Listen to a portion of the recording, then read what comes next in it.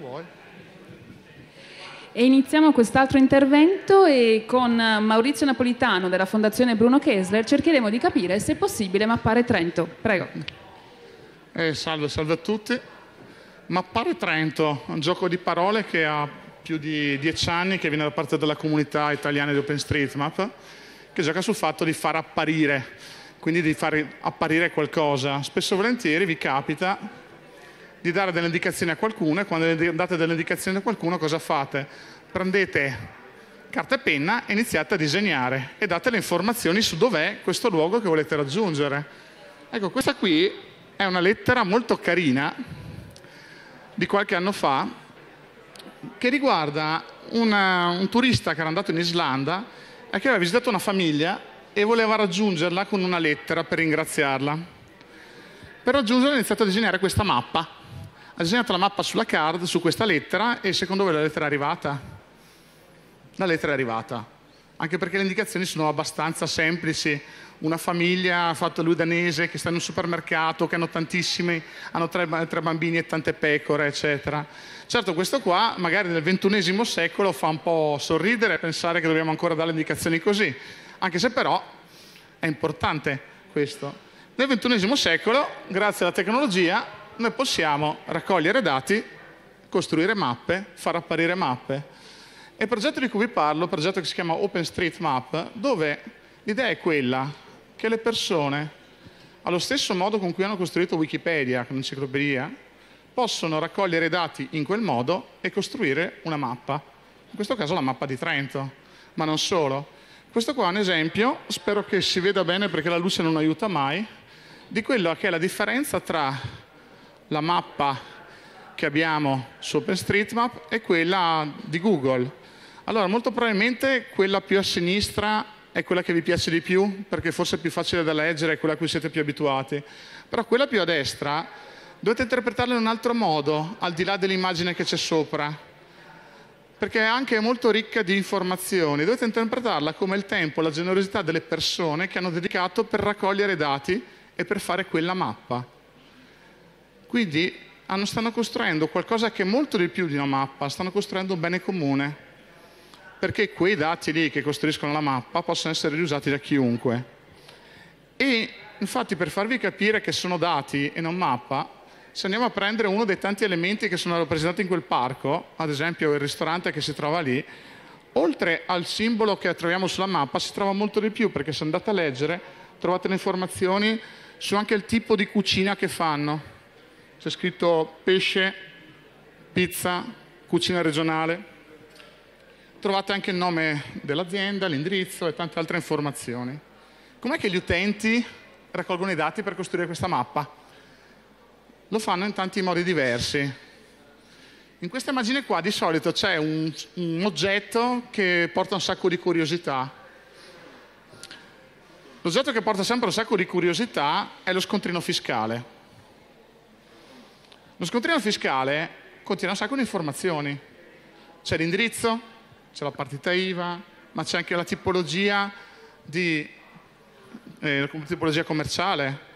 Quindi gli utenti di OpenStreetMap cosa fanno? Raccolgono i dati da ogni fonte che possono fare. Lo fanno attraverso strumenti classici come può essere il computer, come può essere il GPS, possono farlo attraverso il ricalco di una foto aerea, possono farlo attraverso tutte le informazioni che riescono a trovare. Come vedete è rappresentato anche un block notice perché quello ha a che fare con la conoscenza locale, il fatto che comunque io posso vedere il lavoro fatto da un'altra persona e aumentare il nome. Un esempio che riporto spesso, molto tempo fa, è entrato un mio collega americano in ufficio e mi ha detto scusami, dove si trova Piazza Italia? Io avendo una mappa dietro la schiena di Trento ho subito indicato dove è Piazza Italia, lui mi ha levato il dito e mi ha detto guarda che c'è scritto Piazza Cesare Battisti. Però il messaggio che aveva ricevuto sul telefono era stasera ci troviamo in Piazza Italia. D'altronde Piazza Italia è il nome vecchio della piazza che comunque ancora le persone di Trento usano. In OpenStreetMap possiamo aggiungere anche questo nome, quest'altra informazione. E quindi possiamo arricchire quella mappa con tante fonti diverse. Se volete capire come contribuire, c'è questo progettino carino, capisco che è in inglese però non è così difficile, che dice quale strumento vuoi utilizzare per contribuire? Vi dice sono una persona che ha appena iniziato, intermedio, avanzato, esperto. Dopodiché il messaggio successivo è quanto tempo vuoi dedicare, 5 minuti, 20 minuti, un giorno, eccetera. E l'ultimo messaggio è dove, se vuoi farlo in casa oppure vuoi farlo da remoto. E lì praticamente vi suggerisce i tanti strumenti che OpenStreetMap mette a disposizione per andare a migliorare la mappa in tanti modi diversi. In questo caso qua, vedete, presenta due esempi che sono la mappa per raccogliere le informazioni se sui tetti c'è il pannello solare e quindi semplicemente vuol dire guardami una foto aerea, se vedi che il tetto ha un pannello solare aggiungi questa informazione, oppure andare ad aggiungere informazioni sull'accessibilità per disabili motori.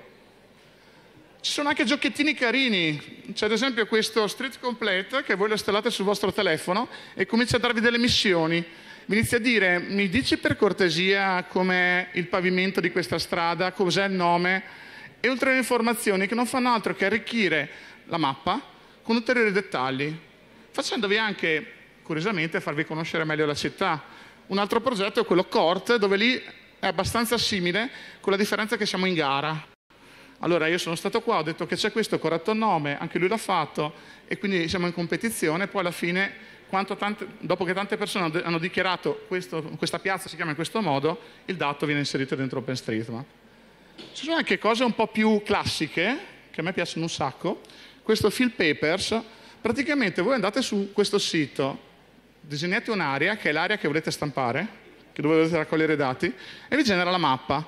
Come vedete questa mappa è rappresentata con questi punti neri e con quel QR code, quella macchia nera che c'è lì. Beh, la cosa interessante cos'è? Voi potete dare quella mappa a delle persone e chiedere di arricchirla di informazioni, ad esempio i nomi delle strade, il nome del negozio, tante altre informazioni. Vi dico solo che questo è usato tantissimo nei momenti di emergenza. Ad esempio c'è stato un terremoto, dato che magari ho problemi con l'antenna GPS che non prende, eccetera, ti do la carta, ci scrivi sopra. Scritto sopra, lo riportate nel vostro ufficio, lo trasformate in digitale, lo caricate sul sito di OpenStreetMap e ve lo trovate come sfondo da cui dovete andare a ricalcare, a ricopiare quello che c'è scritto. Quindi è anche bello che all'interno di questa comunità nascono sempre un po' di innovazioni. E chi sono le persone che ci sono a Trento che stanno collaborando? Qualcuno lo vedo qua in sala.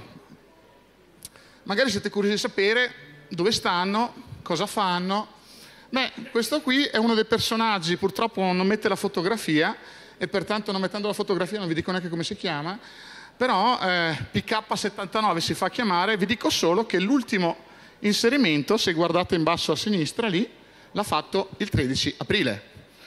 Ed è una persona che è molto attenta, che è una delle persone a cui dobbiamo in parte ringraziare per il fatto che la nostra mappa di Trento è sempre aggiornata. Il Comune di Trento comunque fornisce una serie di dati utili che possono essere riusati per creare mappe. C'è una sezione che riguarda tutti gli open data, trovate ambulatori, biciclette, c'è un'informazione, trovate anche le foto aeree, le trovate del 2012, 2014 e 2016 e pensate che sono a risoluzione di 10 cm, tant'è che lì è sempre il parco di Melta e sul parco di Melta in fondo c'è il campo da calcio e ci vedete le persone che stanno giocando. Per assurdo uno potrebbe iniziare anche a sedere i punti delle persone che giocano, ma non è il caso che ci interessa in questo momento.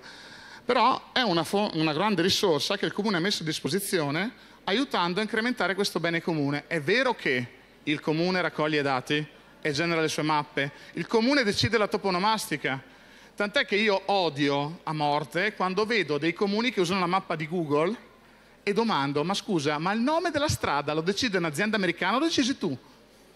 Se sei tu che lo decidi, forse è il caso che usi la tua mappa. Se non puoi usare la tua mappa, usa almeno una mappa che è un po' più neutrale come quella di OpenStreetMap. Quindi il comune ha un po' di dati, ma non li ha tutti, perché in alcuni casi strade private non le raccoglie, determinate informazioni, ad esempio non è il caso di Trento, però ci sono alcuni comuni che si pongono il problema, il parcheggio per disabili, lo posso rendere pubblico sì o no? Sappiate che alcune pubbliche amministrazioni non lo vogliono rendere pubblico, perché dico, parte, eliminiamo dal messaggio i grandi parcheggi come quelli di un supermercato, okay? che lì per legge ci devono essere, ma quelli privati spesso sono assegnati a delle persone e allora mi dicono alcune pubbliche amministrazioni, non tutte, che per tutela della privacy non devono distribuirli la gente in OpenStreetMap invece li raccoglie. Poi dopo il confine è anche labile perché alcune volte, ad esempio in OpenStreetMap trovate tutte le piscine che vengono viste e anche lì magari qualcuno vuole che si sappia, però... Il comune poi ha anche fatto questa cosa carina in questi giorni, il motivo per cui fino adesso vi ho mostrato la mappa di Melta perché l'altro ieri si sono trovati un gruppo di ragazzi a Melta di Gardola per iniziare a raccogliere dati. Quel gruppo di ragazzi lì sono andati in giro, sono partiti, hanno raccolto un po' di punti di interesse, li hanno presi e la cosa che mi fa piacere, purtroppo non hanno usato gli strumenti di OpenStreetMap, ma mi fa piacere il fatto che hanno cercato di raccogliere dati secondo le regole di OpenStreetMap. Quindi il passaggio successivo sarà semplice portare quei dati dentro OpenStreetMap e allargare questo bene comune per tutti quanti. Un altro progettino carino che potete usare se volete far apparire la mappa è questo Mapillary.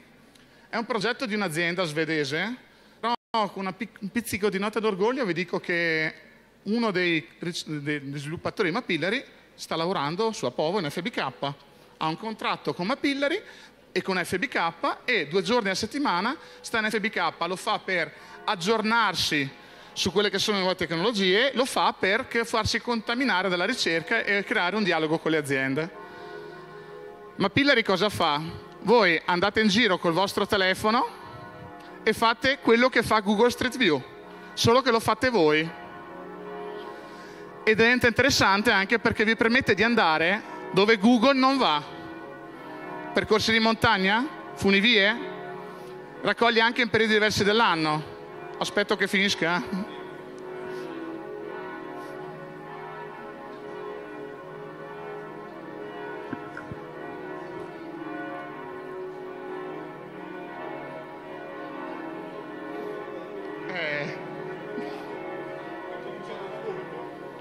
Io ho iniziato da dieci minuti, penso.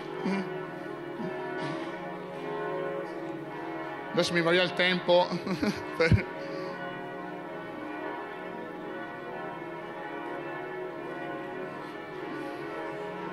Provo a proseguire? Ditemi. Sì? Aspetto ancora?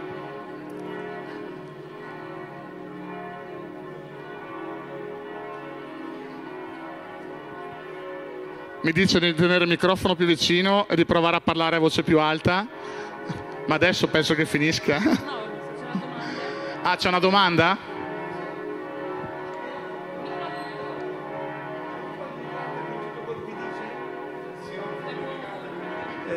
dopo ha degli appunti su quello che lei dice? Sì, sì, sì.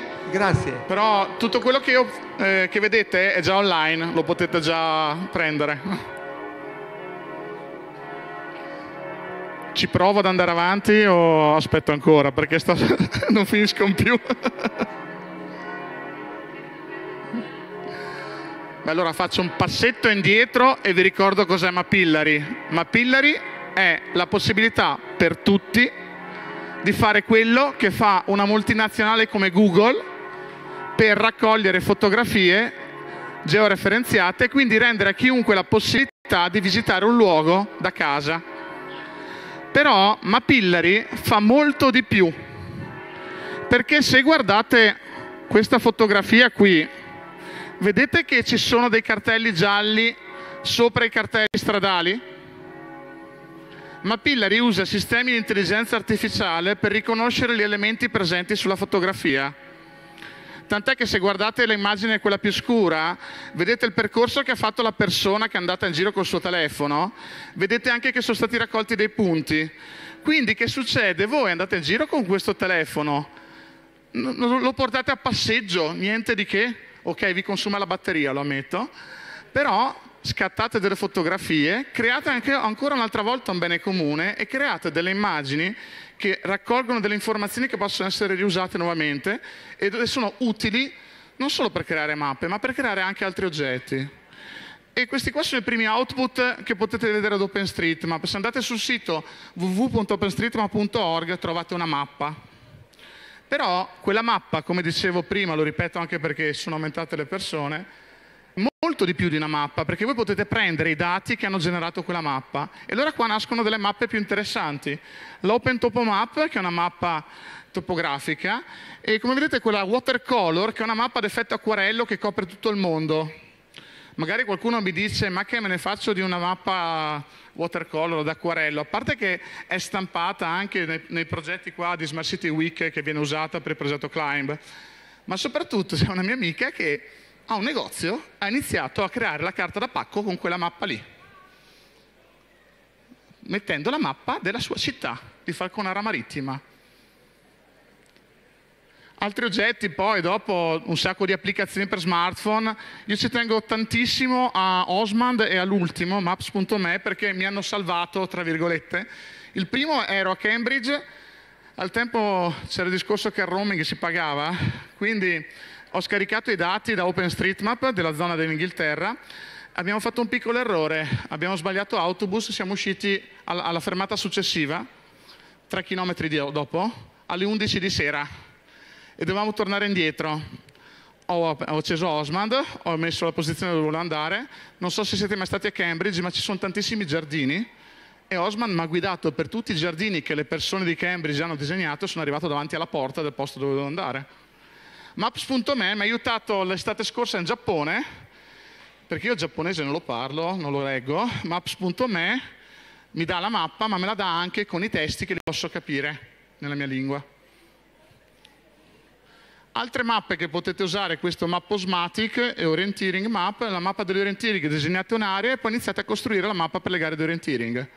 Mapposmatic invece è molto carino, mi spiace purtroppo di arrivare con la mappa di Firenze, ma ad esempio noi potremmo fare, selezionare un quartiere di Trento, uno qualsiasi, e vi genera quella mappa lì che come vedete ha la mappa, ha un grigliato, ci sono sopra le lettere e i numeri, e sotto c'è quello che era il tutto città di una volta, che penso che qualcuno si ricorda. Eh? Via Brennero 4C. Ok? Altre di queste cose. Provate a pensarlo eh, se iniziamo a farlo su piccoli quartieri o piccoli paesi. E questa cosa qua vi farà un po' paura, ma è gratis. Così come questi oggetti, questi non sono proprio gratis, però c'è gente che si diverte un sacco a usare le mappe di OpenStreetMap per fare oggetti da rivendere. Vi ho raccontato prima di un'amica che usa la mappa watercolor d'acquarello per fare pacchi. Qua vedete un po' di oggetti, ci tengo molto a quella borsa perché mi hanno chiamato a Torino a parlare appunto di OpenStreetMap. Un anno dopo sono tornato a Torino, in mezzo alla sala arriva una signora e mi dice, l'altra volta che hai parlato mi hai dato una grande idea, adesso ho fatto una startup, ho fatto un'azienda che si chiama DressMap, ti diamo borse e copelle con la mappa della tua città. La prima cosa che ho fatto è comprato una borsa, l'ho regalata a mia moglie, mia moglie è cinese, quando è arrivata all'aeroporto in Cina, l'hanno guardata e le hanno detto, ma dove trovate una mappa di Dalian sulla borsa? Lei, in Italia. Come in Italia? In Italia conoscono Dalian? Erano abbastanza stupiti di questo. Altra cosa che vi permette di fare è di questa raccolta di questi dati, di creare delle mappe che potete aumentare l'esperienza per i non vedenti. Questa qua, volevo farla di, qua di di Trento, anche perché qua dietro, come sapete, c'è un modellino 3D per farvi vedere che è uguale. L'unico problema è che non ho stampante 3D, allora vi avrei presentato un modellino che non era molto bello da vedere. Si dice mappare, fammi apparire. Allora OpenStreetMap è un grande database dove sono raccolti i dati che le persone stanno inserendo. A un certo punto voi potete dire, ma OpenStreetMap, per piacere, mi dai dove sono tutte le fontanelle dell'acqua che ci sono a Trento? Ed eccole lì,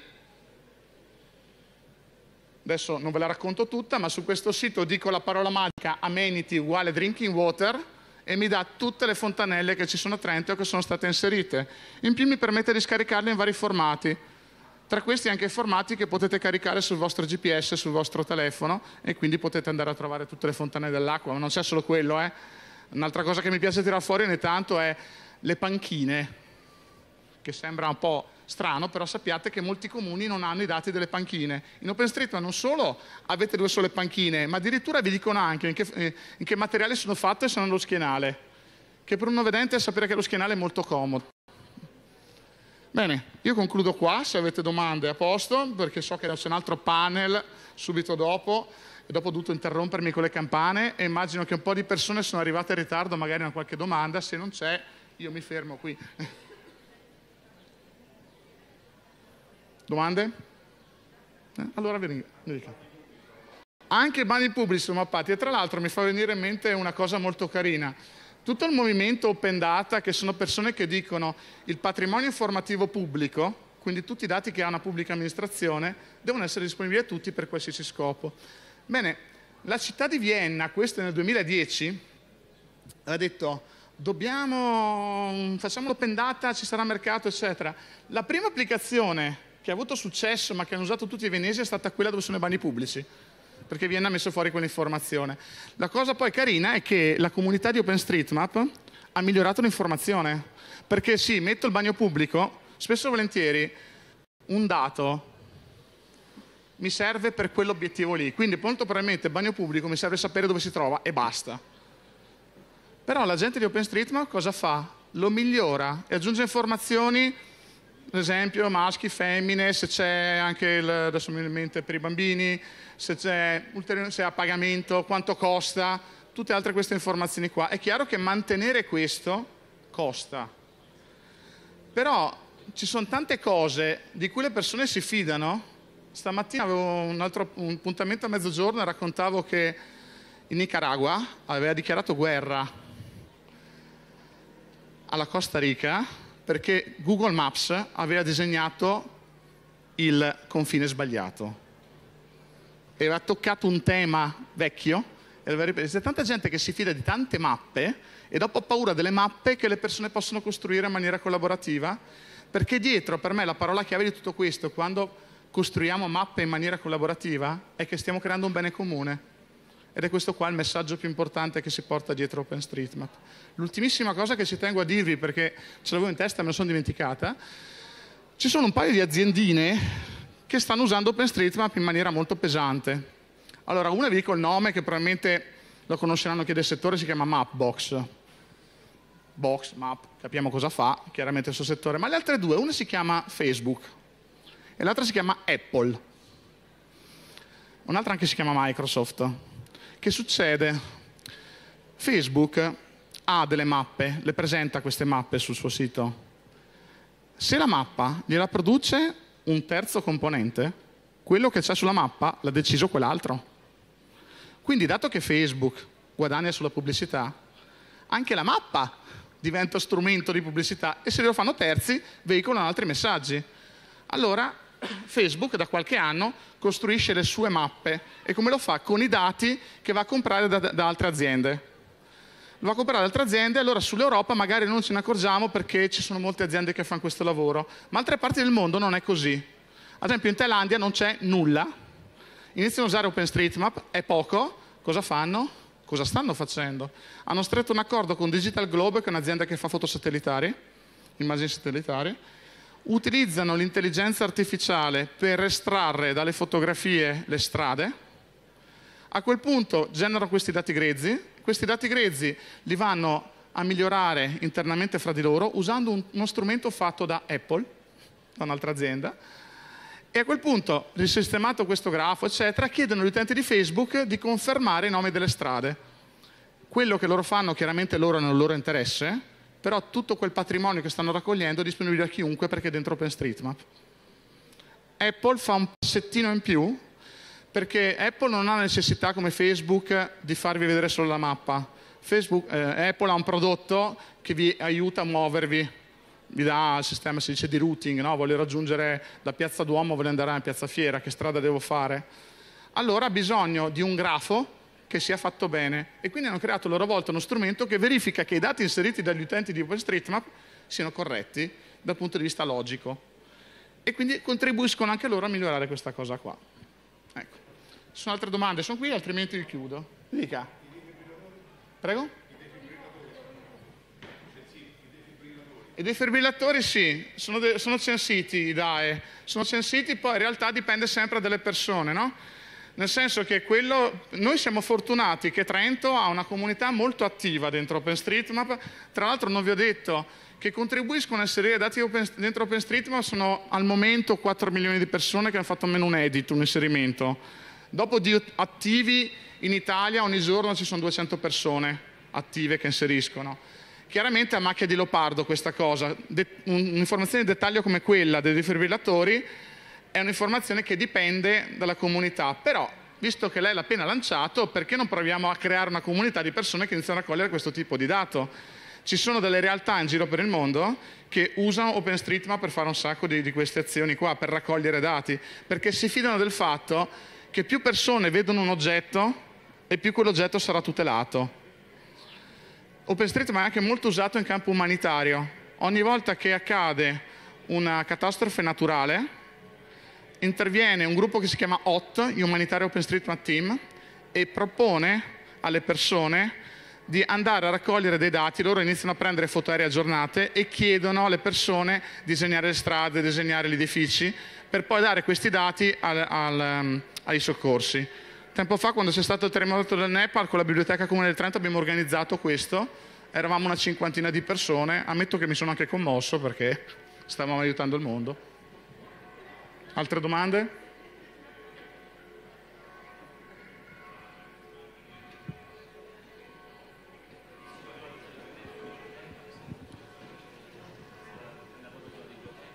Ah.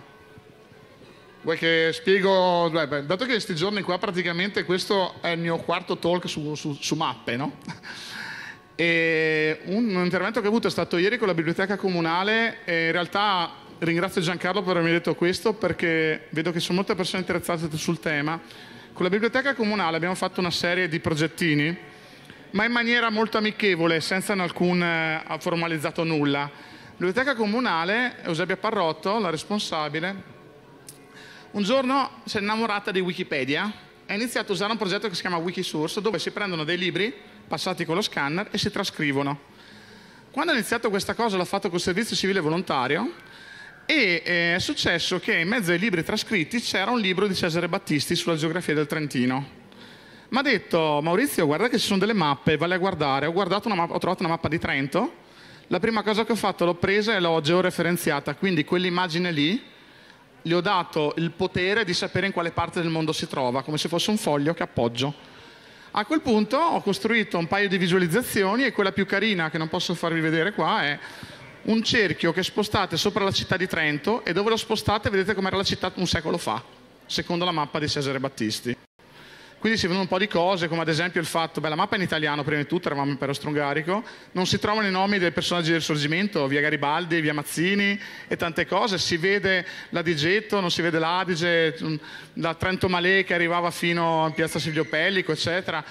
Questo poi ha scaturito un'ulteriore idea all'interno della biblioteca comunale e proprio ieri hanno presentato una cosa spettacolare, sono dei libri così, alti così, sono quattro o cinque, è un Atlante del mondo del 1700. Cosa hanno fatto? Hanno digitalizzato tutte le mappe, quindi sono diventate immagini e ieri abbiamo fatto un laboratorio in cui abbiamo preso queste mappe e abbiamo fatto lo stesso lavoro che ho fatto sulla mappa di Cesare Battisti. Solo che prima ero da solo, stavolta eravamo in 30. il risultato è che adesso abbiamo queste mappe che possono essere usate come sfondi per raccogliere dati, chiaramente di quel periodo lì, e per poterli confrontare col periodo di adesso. E ringrazio Giancarlo di avermelo ricordato. Altre domande? Se sono domande io vi ringrazio. Allora. Ringraziamo quindi Maurizio Napolitano della Fondazione Bruno Kessler e vi ricordo che oltre a queste due sale ci sono anche degli spazi espositivi della Fondazione anche dove potrete mettervi in gioco con Climb al Trento Smart City e creare il tag cloud di questo evento. Tra, a breve inizierà il prossimo intervento sempre qui alla Sala 1. Grazie.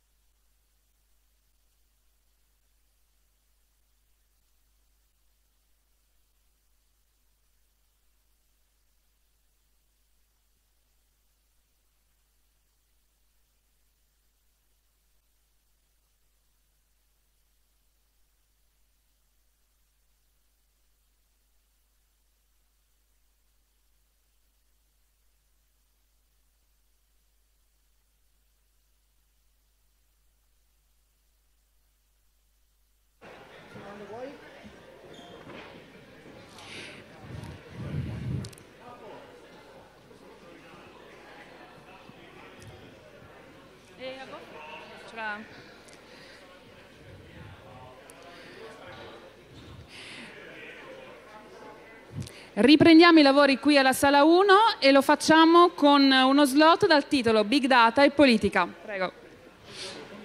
In un mondo ideale, la discussione sugli interventi in materia di politiche pubbliche partirebbe dal dato. Il dato che mi dice che c'è un problema su cui devo intervenire. In un mondo ideale o in una smart city ideale, il ruolo degli amministratori sarebbe quello di proporre degli interventi di politica pubblica come degli esperimenti. Io definisco degli indicatori, degli obiettivi, provo a fare degli interventi, verifico se le cose effettivamente funzionano. Se non funzionano, ritento in un altro modo. Non siamo in un mondo ideale, siamo in un mondo reale io sono Daniele Mirandi, amministratore delegato di UOPER e questa sera parleremo di big data e politica. Quindi come il dato può aiutarci a governare, ad amministrare in maniera migliore una città smart. Ovvero la smart city non è solo per il cittadino, ma è anche per l'amministratore. Abbiamo un panel piuttosto corposo, come vedete per ragioni di sicurezza non possiamo metterli tutti sul palco. E abbiamo qui rappresentati il eh, mondo della ricerca, Giuseppe Veltri, professore al Dipartimento di Sociologia, Università degli Studi di Trento e con un passato al eh, JLC della Commissione Europea. Bruno Lepri, uh, che guida un gruppo di ricerca MOBS presso la Fondazione Bruno Kessler ed è un membro della Data Pop Alliance creata dall'MIT per usare i dati per creare delle società più intelligenti. Abbiamo il mondo dell'innovazione, abbiamo Francesco Bonadiman, EIT Digital e uno degli, delle anime direi dell'associazione Spec and Tech. Abbiamo Maurizio Napolitano, FBK, eh, che probabilmente avrete già sentito parlare oggi in qualche altro slot, esperto di Open Data e che oggi ci porterà anche l'esperienza degli amici di Open Police, se ho ben capito. E abbiamo anche il mondo ovviamente delle aziende, Nicola Cracchi Bianchi, Deda Group SPA, divisione Public Services. Per riportarci poi con i piedi per terra abbiamo chi le dinamiche dei consigli comunali, comunque delle amministrazioni locali, le vive sulla propria pelle tutti i giorni. Quindi eh, Romina Menapace, vice sindaco del comune Ville d'Anaunia, e eh, la diciamo pure padrona di casa, Chiara Maule, assessore alla partecipazione, innovazione, progetti europei e mi sono perso qualcosa. Semplificazione, grazie Francesco, del Comune di Trento. Doveva essere con noi anche Andrea Maschio, consigliere del Comune di Trento in quota Movimento 5 Stelle, ma purtroppo si scusa, ha avuto un incidente in macchina e quindi non riesce ad arrivare. E, bene, io partirei un pochino dal mondo ideale, quindi magari con eh, Giuseppe. E cosa effettivamente i big data potrebbero fare per aiutare un governo, un'amministrazione migliore della città? Buonasera. Ehm, sì, devo, posso diciamo, partire un po' dalla mia esperienza, che è stata quella di eh, lavorare nell'ambito della ricerca per fornire una base di, di dati e di evidenza empirica per il processo di policy, quindi la creazione di politiche pubbliche a livello europeo, quindi nel mio recente passato nella Commissione europea. E, ehm, quella che eh, in termini internazionali viene chiamata la evidence-based policy, cioè le politiche pubbliche basate sull'evidenza.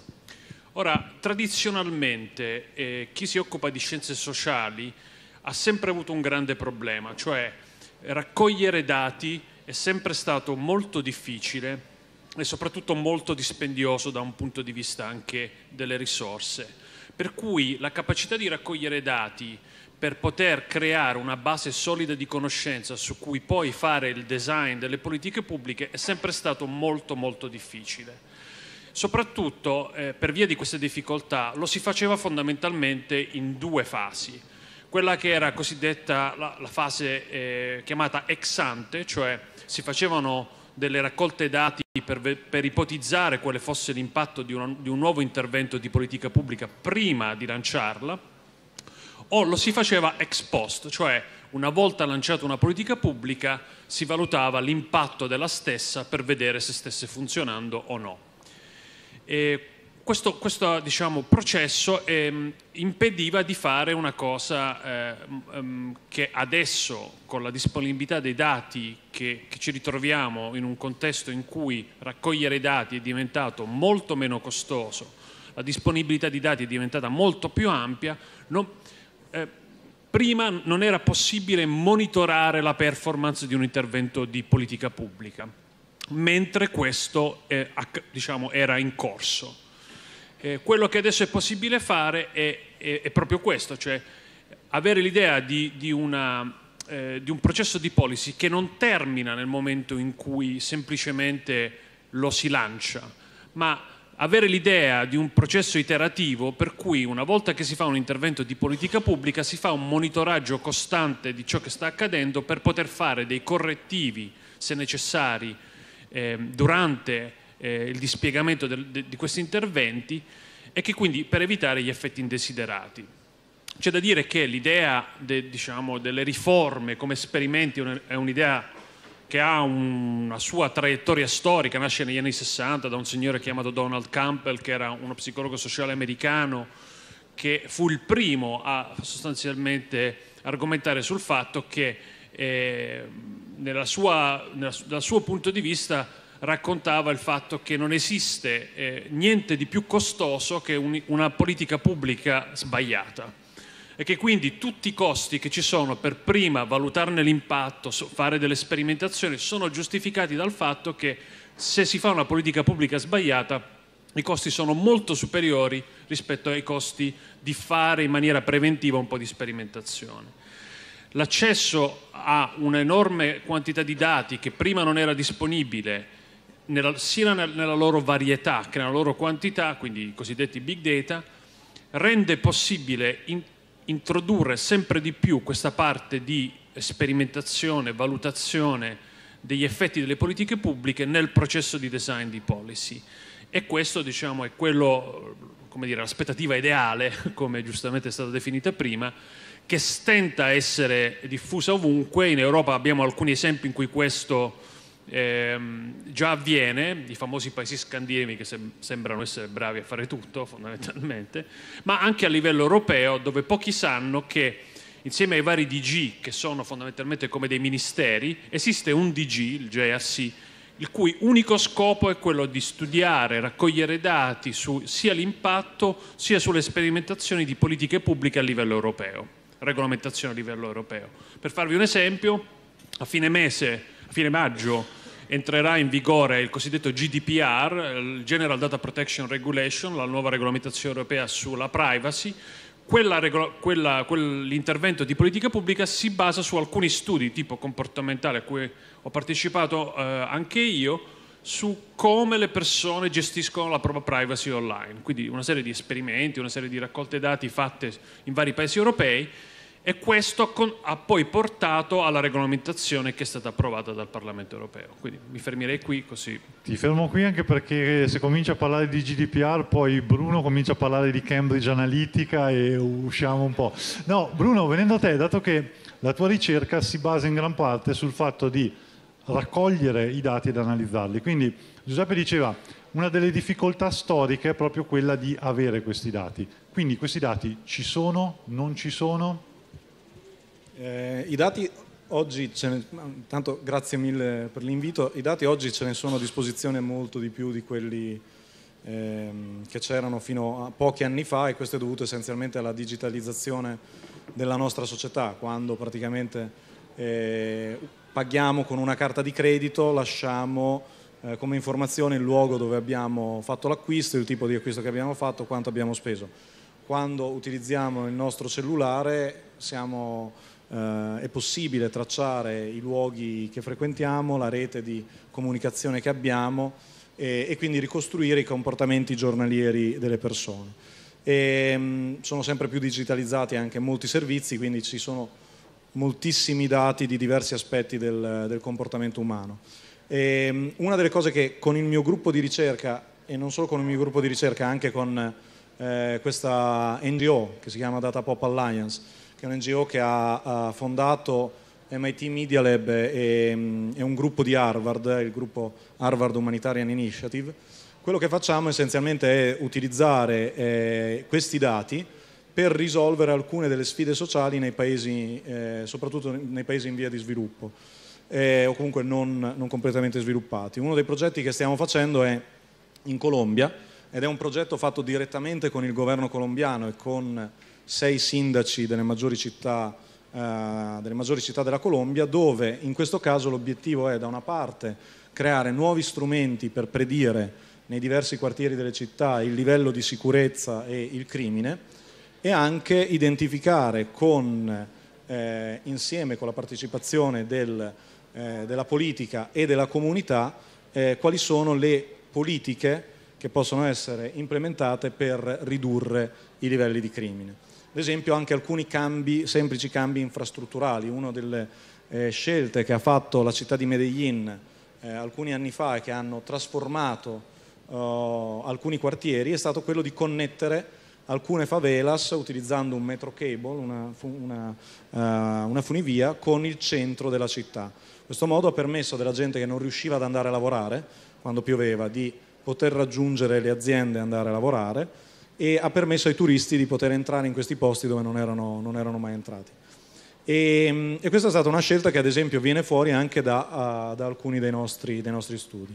Naturalmente ci sono anche rischi, eh, però di questo magari se ne può parlare dopo. Certo. Maurizio, tu diciamo da paladino locale degli, degli open data, come, come, li vedi diciamo, in questo processo il ruolo degli open data? Perché molto spesso sentiamo parlare di open data, però sono dati che sono diciamo, generati o comunque esposti dalla pubblica amministrazione, mentre qui stiamo parlando della pubblica amministrazione come utilizzatore di dati. Beh, a parte che gli open data nascono anche da una direttiva europea che si chiama Public Sector Information, quindi l'informazione del settore pubblico, questo patrimonio informativo del patrimonio pubblico, qui, che è generato dalla PA per risolvere i suoi problemi, di fatto, per gestire quello che fa tutti i giorni. Quindi gli open data nascono soprattutto non soltanto poi in quell'ambito, perché mi ricordo una volta un piccolo scontro con Bruno che gli, che dicevo una volta che do il permesso di aprire dati sono open data, non è che sono per forza quelli della pubblica amministrazione. E tu hai detto a livello locale, ma in realtà ho spaccato abbastanza le scatole a livello nazionale e internazionale sul tema. Non volevo sminuirti. no, ma non è quello. Però questo è per dirti che mi ha portato a vedere molte situazioni molto difficili, perché è vero quello che si raccontava all'inizio però è anche vero che più scendi di livello amministrativo, più il comune diventa piccolo e più dopo i, i processi che gestiscono i dati diventano sempre più complessi, non tanto complessi perché uno dice inserisco i dati nel computer, ma proprio che magari la persona che fa l'inserimento dei dati la mattina fa il bidello a scuola, il pomeriggio fa quel lavoro lì, il giorno dopo sta facendo invece il vigile urbano. Per assurdo, no? Poi adesso chiaramente sto esagerando, però spesso ci troviamo che quando chiediamo di aprire i dati, in realtà stiamo ragionando sul discorso dei processi. E questi processi vuol dire andare a cambiare come funzionano le cose in un sistema che è vecchio, che è molto spaventato dalla responsabilità. Spesso e volentieri si parla con eh, un funzionario pubblico e la prima paura è di esporsi, la paura è di stare all'interno delle regole di quello che deve fare, quindi magari l'apertura del dato diventa una cosa molto lenta che poi alla fine produce quello che io chiamo junk data, cioè dati immondizia, che ne abbiamo tantissimi, che non ci servono a niente al momento, perché sono tante cose più di facciata o meno, tant'è che adesso in Italia anche si è spinto per avere questa parola che fa un po', dà un po' fastidio, agli amministratori pubblici dà fastidio, FOIA. Poi come parola FOIA di per sé in italiano cosa vuol dire? No? Freedom Information Act è stato copiato dagli Stati Uniti questo fatto, questa legge per cui chiunque se vuole dati li va a chiedere alla pubblica amministrazione e li deve restituire, a prescindere che siano open o non open.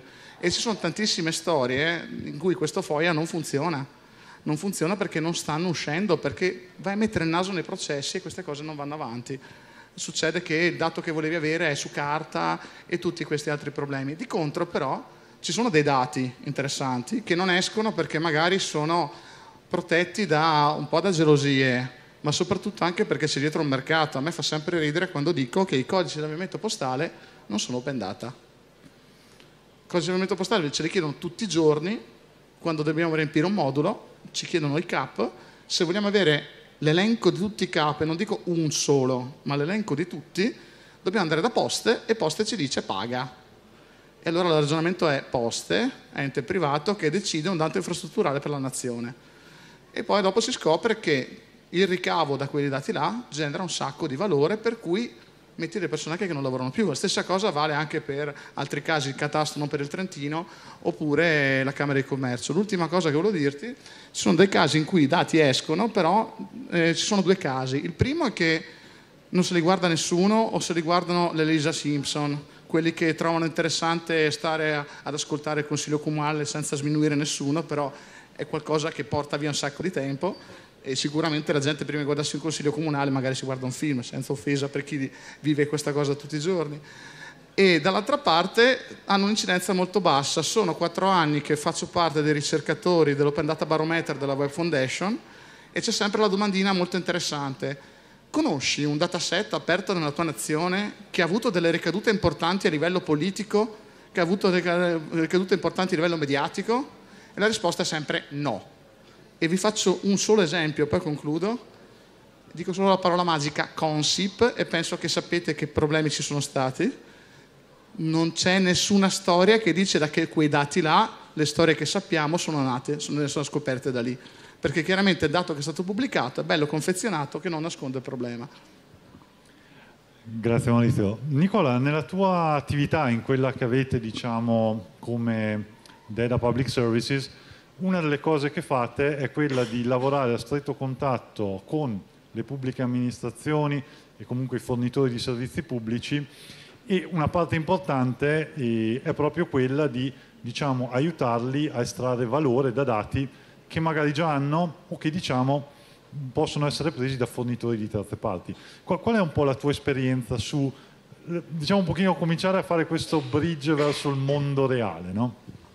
Infatti mi collego a ci sono i dati, ci sono le capacità di analisi, eh, le collaborazioni che facciamo anche noi con la ricerca, la domanda diventa è i comuni sono in grado di utilizzarli?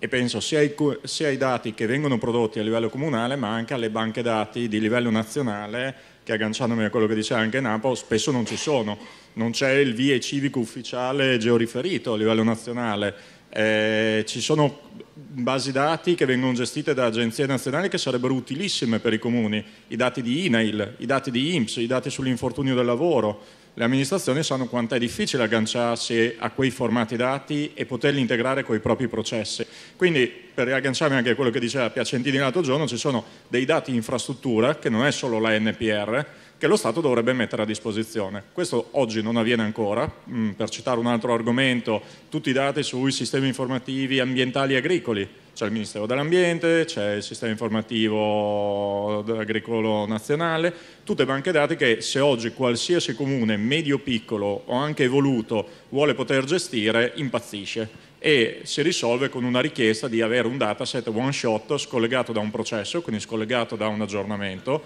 mentre per fare quello che dicevate prima, se io devo definire una politica e devo monitorarla in corso, ho bisogno che quel dato mi arrivi costantemente, ben metadatato, ben strutturato e quindi io posso ragionare di integrarlo con i miei processi amministrativi, non diventa un onere in più, diventa un pezzo del mio lavoro. Invece di guardare solo quello che devo decidere sulle politiche sociali, oltre a vedere i dati che ho in casa, per citare un esempio, vedo anche quali sono gli andamenti che mi arrivano da IMSS e da INEL.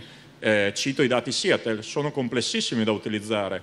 Noi cerchiamo di metterci a metà fra ricerca e pubblica amministrazione, gestire un dataset di Seattle in cui, non so se lo si sa, ma tutti i nostri consumi energetici di gas, gli operatori li comunicano in Sogei, sfido chiunque ad andare a guardare le tabelle dei dati Seattle. Noi abbiamo dovuto sviluppare dei software per poter rendere fruibili i dati che sono in Seattle. E anche questi dovrebbero essere, eh, per ricollegarmi a quello che diceva anche Napo prima, dei beni comuni che servono anche al territorio per definire le proprie politiche. Provo a citare altri casi, oltre ai temi mobilità e energia dove sono stati fatti eh, grandi progetti, alcuni li, li, si sta raccontando anche in questi giorni, quindi permettere ai comuni di avere degli strumenti facili a livello di dashboard e di integrazione per andare sui dati, eh, la disponibilità dei dati apre anche a un sacco di altre politiche. Noi ad esempio, non a Trento, che non è un problema rilevante, però in altre città ad esempio l'utilizzo di dati di fonti diverse, quindi il catasto non in Trentino non è aperto, i dati di SIAT e via dicendo, per lotta alle infiltrazioni mafiose andando a vedere ad esempio compravendite sospette, andando a vedere passaggi di proprietà in certe aree che hanno poi dei cambi di destinazione urbanistica, quindi cose su cui da un certo punto di vista i comuni hanno il pieno controllo per quelli che li compete, quindi erogare le, la possibilità di edificare piuttosto di convertire una destinazione urbanistica, ma ad esempio non hanno accesso a tutti i dati del catasto, delle compravendite o i dati della Camera di Commercio per sapere che su determinate aree come stanno, come stanno, andando i fatturati o le indicazioni economiche di quel territorio. Quindi io posso decidere di fare interventi di eh, bonifica e di miglioramento di alcune aree, però non sono totalmente autonomo come ente locale nel poter gestire tutte le banche dati che mi servirebbero per andare a monitorare questi andamenti.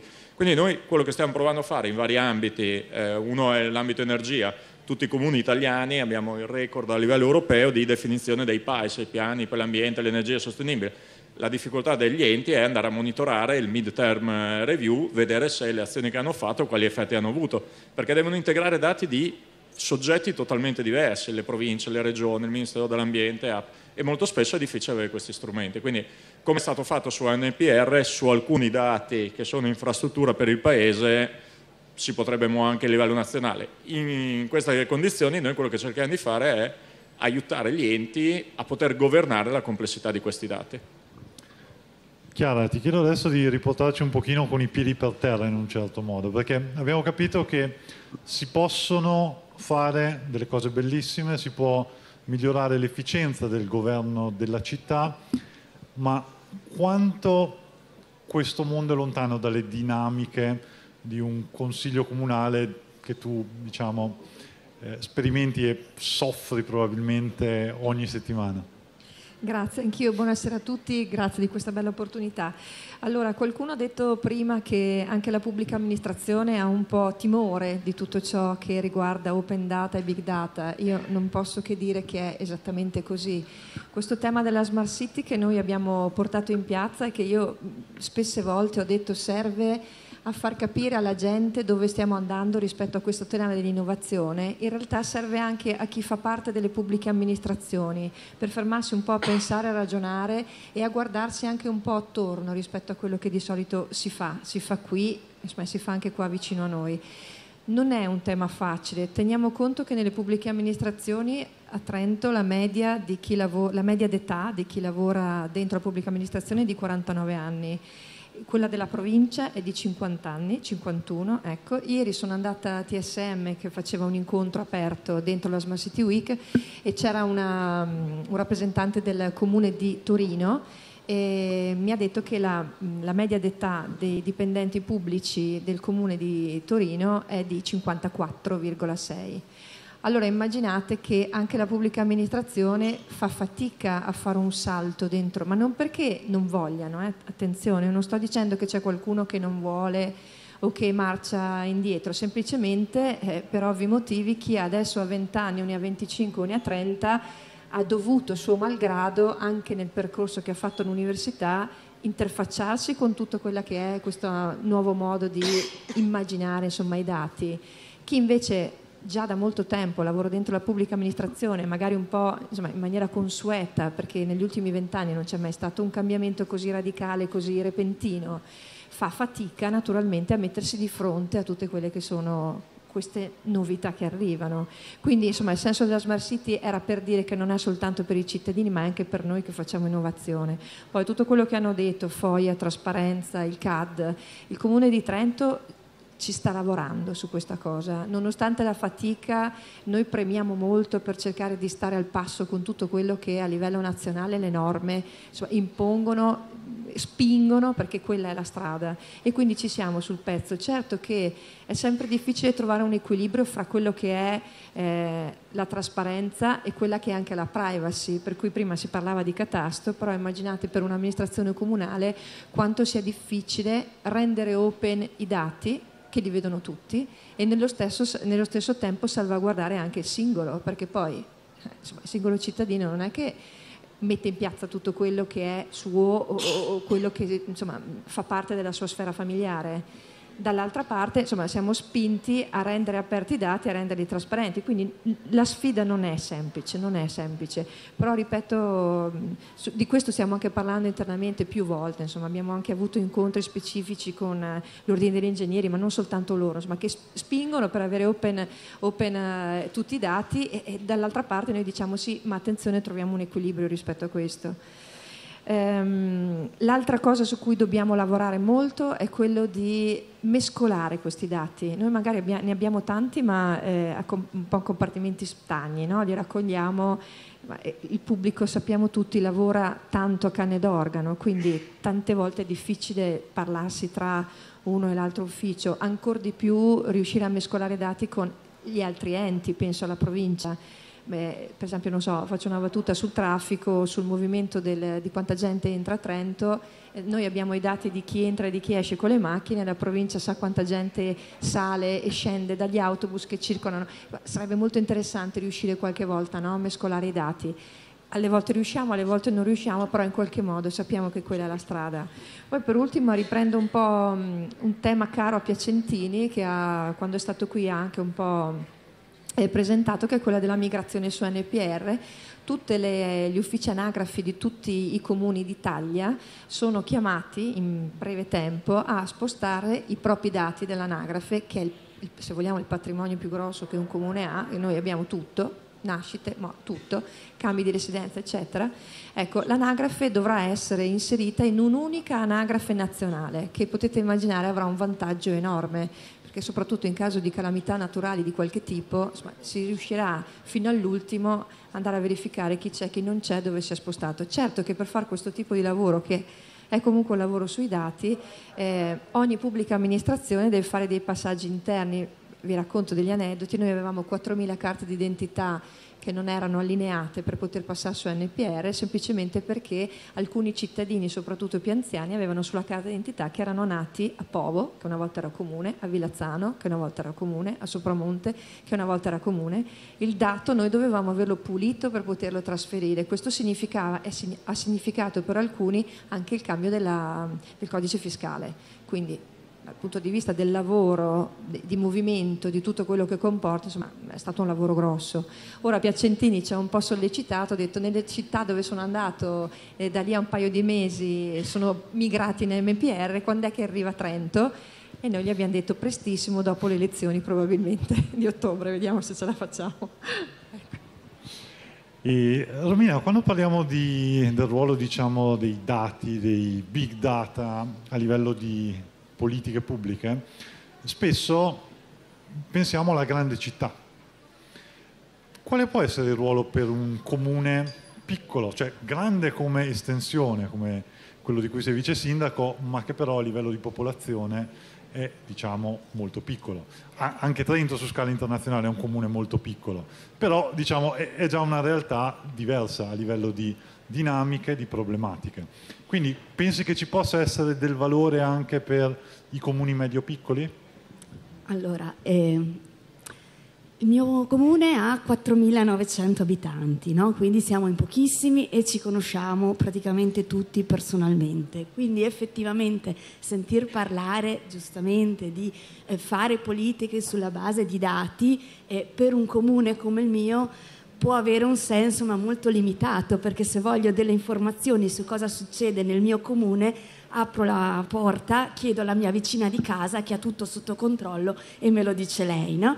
Quindi effettivamente mi sembra un po' fuori luogo a parlare di questo argomento, di recuperare le informazioni, perché da noi il rapporto personale è evidente. Dall'altra parte però ovviamente siamo mh, mm, parte del gioco anche noi, forse in un altro senso.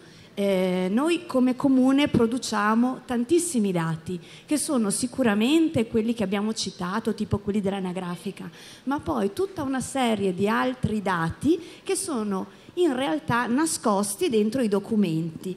Tutti i documenti che noi creiamo sono documenti creati probabilmente in Word, messi in PDF, a volte anche stampati e poi scansionati perché magari in PDF uno magari può fare copia e incolla, no? E questo assolutamente per la pubblica amministrazione non va bene. A volte mi capita di ricevere delle email anche da parte della provincia o del consorzio dei comuni con eh, nessun testo, due allegati, una la lettera di presentazione con un link lungo tre righe no? che devo, non posso cliccare, devo ricopiarlo con la tastiera per vedere a dove mi punta. Questo è il mondo in cui siamo immersi e dall'altra parte ci viene chiesto di essere smart.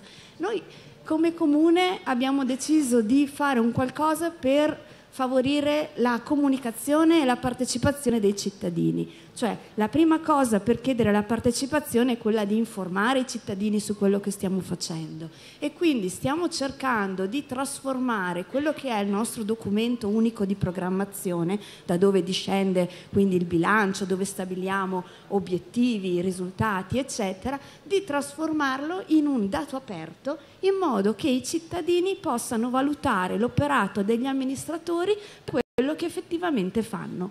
Quindi noi abbiamo già individuato per il nostro comune, sono circa 203 obiettivi diversi, ogni obiettivo ha il suo indicatore e due volte all'anno andiamo a misurare a che punto siamo, 0%, 25, 50, 75, 100 con una motivazione. Il problema è che adesso non abbiamo la tecnologia pronta, quindi è semplicemente un tabellone gestito in Access stampato in PDF e caricato sul sito, 203 pagine di roba che eh, quando l'abbiamo pubblicato eravamo molto preoccupati come amministratori per cosa la minoranza poteva dire in consiglio comunale del tipo guarda su questa cosa qui che era un tuo cavallo di battaglia sei appena al 50% di avanzamento non ti vergogni di questa cosa? E invece cosa è successo? Andiamo in consiglio comunale ad approvare questo DUP di 203 pagine e i consiglieri di minoranza hanno alzato la mano, ma voi che vi riempite tanto la bocca di trasparenza, cosa fate per la trasparenza? È che mi sono cadute le braccia, ho detto ma come abbiamo fatto 203 obiettivi, ti stiamo dicendo che su certe cose andiamo bene, su certe cose andiamo male? Ma lì non è un problema della minoranza, il problema è del sistema di comunicazione, che è impensabile che uno vada a leggersi tutti i documenti che noi produciamo e spendiamo un sacco di tempo a fare questi documenti che poi non legge nessuno. Io sfido chiunque a dire quante delibere nella, vita, nella vita uno abbia mai letto pagine, pagine, minimo quattro pagine per ogni delibera. Noi a giunta, siamo un piccolo paese, ne facciamo una ventina in settimana, ma io mi chiedo, ma ci sarà qualcuno che queste delibere va a leggerle? No, ce la diciamo, ce la cantiamo, è tutto tra di noi. È un, un, mondo assurdo. Per uno che non è della pubblica amministrazione come me, che è un amministratore, che quindi si ritrova in questo mondo, dice, Madonna, ma dove sono capitato? Qui gente che continua a scrivere, a scrivere, a scrivere, da un ufficio all'altro, sti spafei di quattro pagine in PDF che poi dobbiamo anche caricarli, ma per chi lo facciamo? Boh, io non l'ho ancora capito. Quindi, cioè, Ci sono spazi di miglioramento. Io direi proprio di sì. Grazie. Francesco, io voglio sentire la tua opinione perché diciamo tu qui sei anche... Ehm, quello che rappresenta una, una fascia demografica, insomma.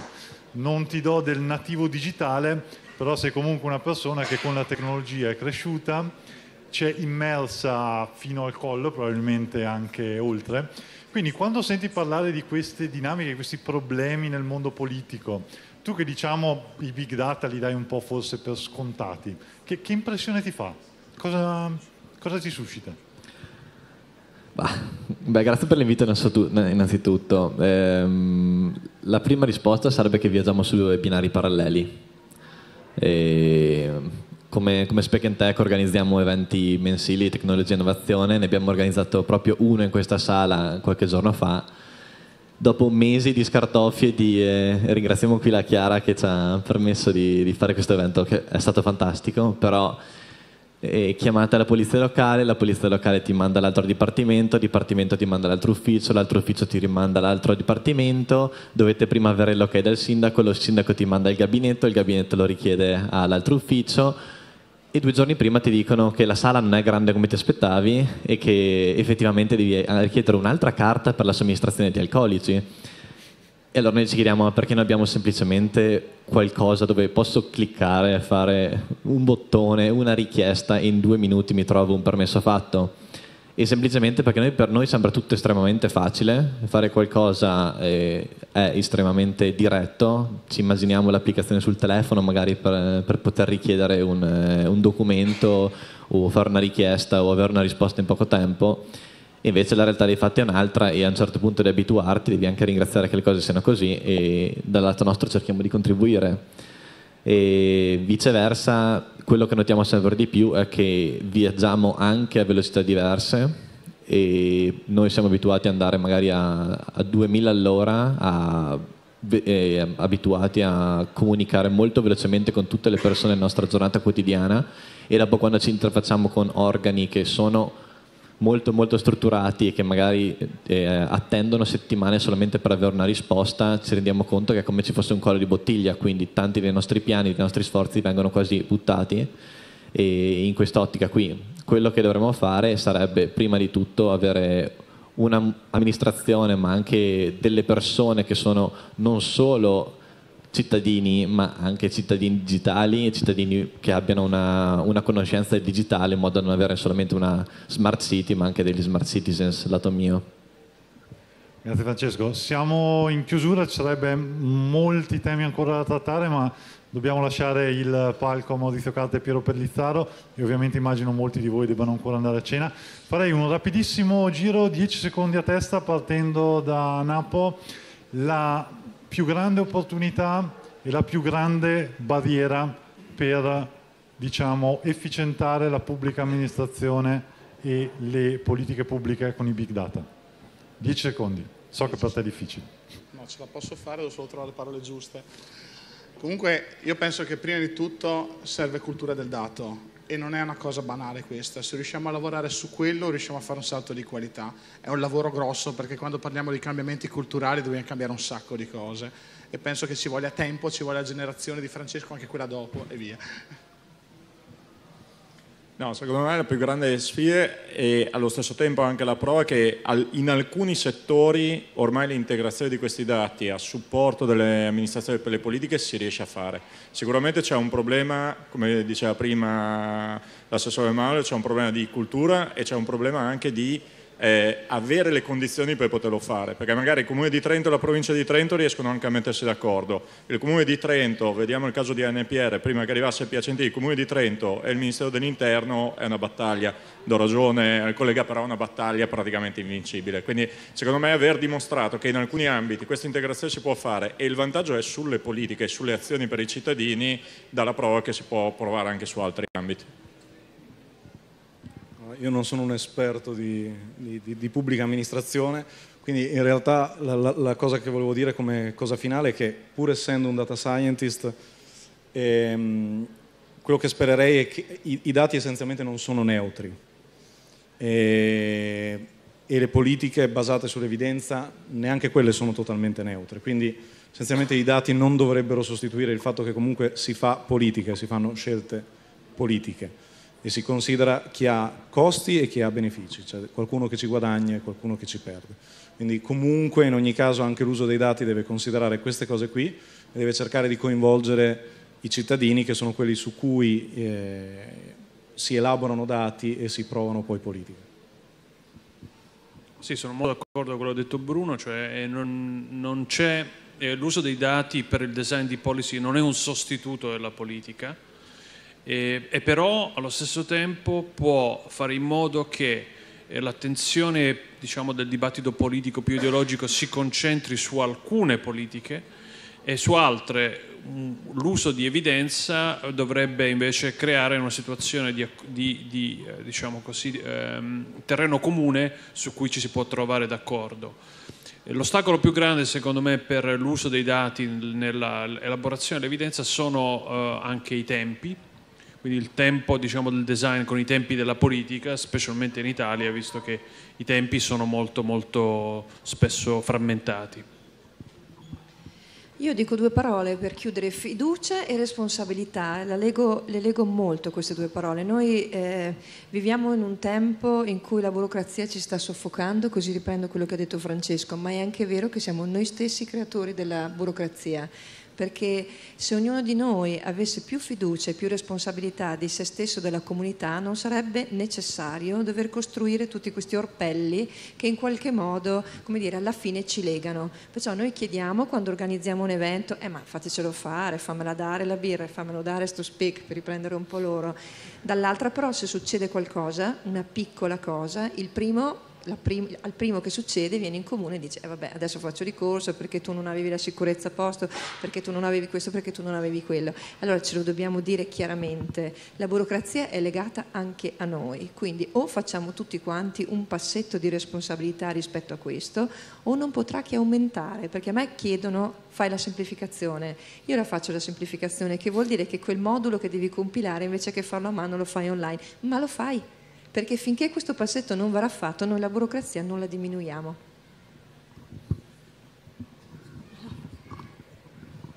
Vado io. Eh, sono pienamente d'accordo e anche forse ci vuole un po' di coraggio anche da parte dell'amministrazione, parlo anche a livelli più alti, di eh, cercare di fare un vero cambiamento, perché attualmente, secondo me, le amministrazioni pubbliche come la nostra stanno impazzendo perché da una parte dobbiamo comportarci come 50 anni fa e serve il timbro e serve la stampa, se no non funziona. E dall'altra parte ci viene chiesto di produrre open data, di caricare le cose. Quindi stiamo facendo un doppio lavoro che ci sta facendo impazzire. Quindi ci vorrebbe anche il coraggio di togliere un po' di tutti questi timbri che non so poi se effettivamente servano sempre. Dall'altra parte la grande opportunità, secondo me, per noi amministratori che non abbiamo un confronto sul mercato, perché un imprenditore ha successo se sul, il mercato decreta che ha successo, noi invece andiamo alle elezioni. Le elezioni che spesso appunto si chiede il voto dei cittadini sulla base dei dibattiti politici, su quello che scriviamo su Facebook, eccetera, e su interpretazioni di quello che uno pensa che tu possa aver fatto fatto precedentemente, ma è tutto molto fumoso e quindi non si sa mai veramente quanto un amministratore abbia lavorato, quanto sia stato coraggioso, quanto abbia fatto. E io penso che questo mh, cambio di paradigma, di mettere i dati e non i documenti, possa aiutare proprio i cittadini a scegliere l'amministratore giusto, quello che veramente è stato bravo, quello che ha ottenuto risultati e quello che può fare la differenza. Grazie. Lato mio siamo davanti a una, a una, situazione incredibile, una trasformazione che sta arrivando e ormai siamo dentro in pieno. E la prima challenge, la prima sfida sarà lasciare, lasciarsi indietro qualcosa e cercare di cambiare il costrutto come è al momento. E per farlo secondo me l'unica soluzione sarà affidarsi ai migliori quindi non, eh, sarà difficile avere politici che siano effettivamente i migliori perché molto probabilmente se sei l'informatico migliore non vai a fare il politico ma fai semplicemente l'informatico, quindi quello deve fare la classe politica da quel punto di vista lì è affidarsi ai migliori. E secondo me un esempio positivo l'ha dato il team digitale appunto, quindi per esempio Renzi che ha avuto l'idea o l'intelligenza di chiedere a Piacentini, comunque uno dei migliori italiani all'estero, a dire vieni qua torni indietro, fai un passo indietro e crei qualcosa che possa trascinare l'Italia da quel punto di vista. Bene, chiudiamo quindi su questa nota di speranza, ringraziamo i panelist e grazie anche a voi che avete resistito ai mossi della fame per assistere a questa sessione. Grazie e buona serata.